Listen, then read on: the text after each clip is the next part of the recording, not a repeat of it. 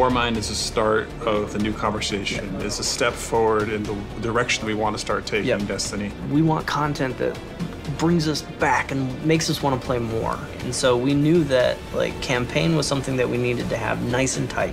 But it was the new activities that we added to the destination that was much more important. And we wanted to add pursuits in the destination, you know, new gear sets and chasing after Seraph themed weapons and gear. So we mm-hmm. want players to feel like they're grinding with purpose, as I call it, like Yeah. focused on like I know what I'm going for, I want to get it, and I'm going to keep playing. it. It's like kind of similar to like what we just had with the DFA and the Nightfall. That we want that same feeling of like.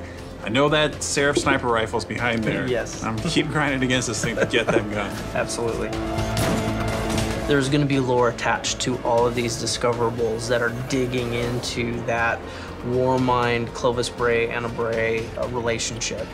You explore the glaciers, you're in the Clovis Bray facility. Yeah, and the Warmind is, you know, sitting up up high, but then, you know, we have uh, activities that run you through the tunnels Yep. that the Hive have dug out, and you come out into Hellas Basin, and then you see the skybox, you see the the Rasputin pyramid, and like it's just it's such a, an evocative thing of like I want to find out Yeah. what is there. Diversity inside of this destination is out of control. Yeah, like huge scalloped walls of ice, but then Yep. like big open expanses when you're on, on the top of the mm-hmm. surface. Like there's a really really cool dichotomy between all the spaces. Well, one of the things that we wanted to do was bring back the big boss fight, and so we built the destination in a way that teases and ramps up to that big fight.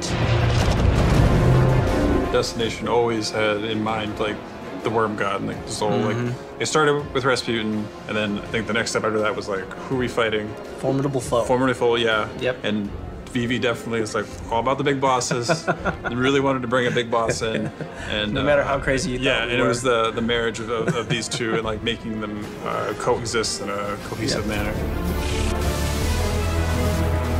Another thing that came out from the playtest was uh, the new relic we're actually putting in. You get the opportunity to actually wield a weapon of Rasputin's Yeah. own design, and it's this javelin we call the Valkyrie that is a really deadly long-range weapon, but yet it's super powerful if you decide to use it in melee up front. So we have all new campaigns to start out with.